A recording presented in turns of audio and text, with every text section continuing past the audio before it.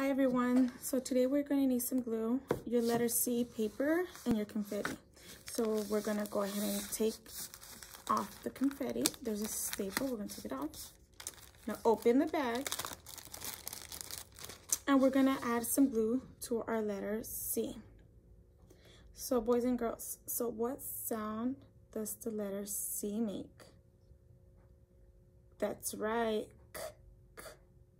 So C makes the letter, the sound that the letter C makes is.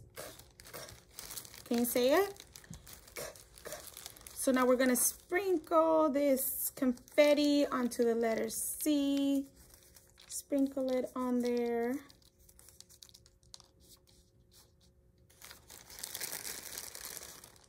Sprinkle, sprinkle. C is for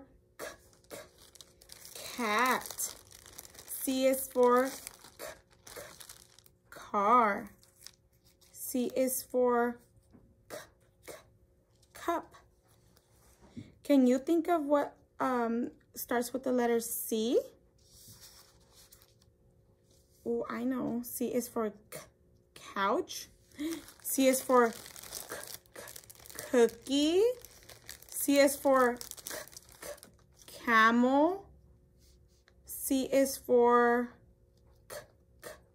cake. Okay, so after we're done with our letter C, we can just sprinkle, see what comes off. And that is the letter C. So once you're done, go ahead and send me pictures of your finished work. And that's it, boys and girls. Thank you.